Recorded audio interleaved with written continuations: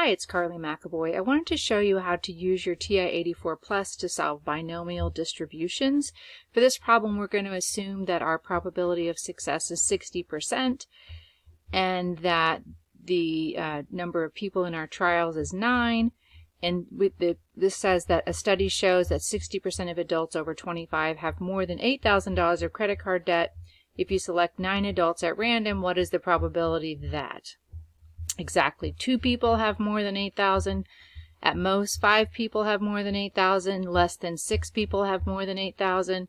At least four people have more than 8,000. More than five people have more than 8,000 out of your nine people that you select. So each one of those is sort of different. So we want to look at all those examples or you can just skip forward in the video if you just want to see one particular one. And we're going to be using the binom PDF for a single value like A and the binomial CDF if for X or fewer successes, so the rest of those we're going to use the CDF button. And those steps are written down there below. So let's take a look at what that looks like. So um, we have nine trials and we have a probability of 60%. What is the first one said, what if exactly two people? So when we think about that, here's nine people that we talked to and exactly two people exactly two. These are the, possibilities. We could have one person, we could have two people, we could have three people. In this one, exactly two people in our study said that they um, had that much debt. So we're going to enter into our calculator. Um, we're going to enter second function distribution, which is over the VARS, V-A-R button. And then we're going to, I'm going to scroll up because it's faster. You can go up or down. You'll get there eventually. For a single value, we're going to use the PDF function and we're going to hit enter. And it's going to ask you how many trials do you have? What is the probability of success? 0.6 and how many x value, what x value? We, we, we talked to nine people and exactly two of them had um, this much debt. So our value is 2 and then hit enter and then enter again and that's going to put that into that format and you hit enter one more time and this is the probability that you get. So exactly 2 means what's the probability that x equals 2? And that is about, I'm just going to go out three places, 0 to 1 or 2.1% if we were doing this. Okay, but the rest of those we're going to be using the binomial CDF function. And the CDF function assumes that you're talking about that number or less. But first let's talk about what does at most 5 mean? That we could talk to people and find out that 5 people in our study had that much debt. We can't, that's the biggest number at most. We could have talked to people and maybe 4 of them would have it, maybe 3, maybe 2, maybe 1. So this isn't one value. This is a whole kind of a list of values starting at 5 and going down. That's what at most means.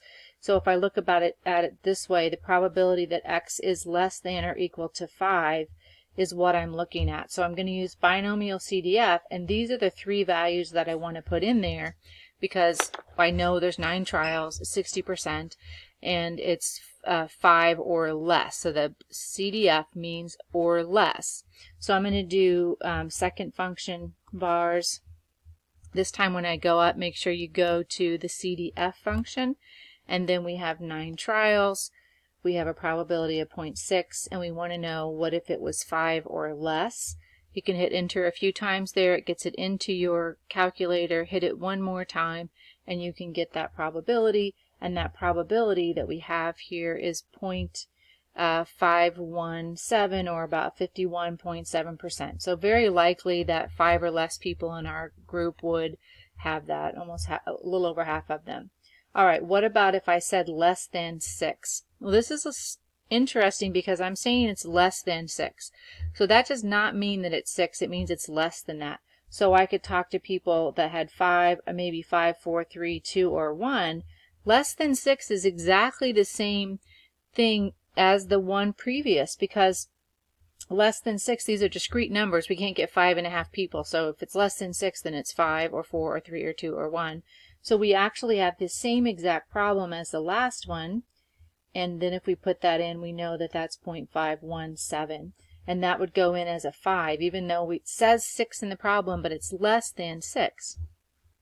Okay, the last two are a little more complicated because remember the CDF function goes to the left, everything to the left. But if we're saying at least four, what we're saying is at least four. It could be four, but at least that. It could be we talked to people and five of them had debt, or six of them, or seven of them, or eight of them, or nine of them. That's what at least four means. And so I can't look at this to the right because the calculator calculates it to the left.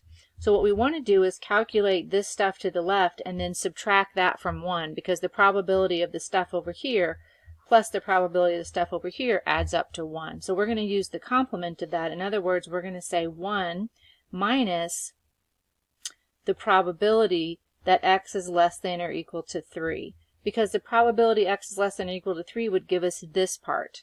And if we take that from 1, then we're left with all of this part.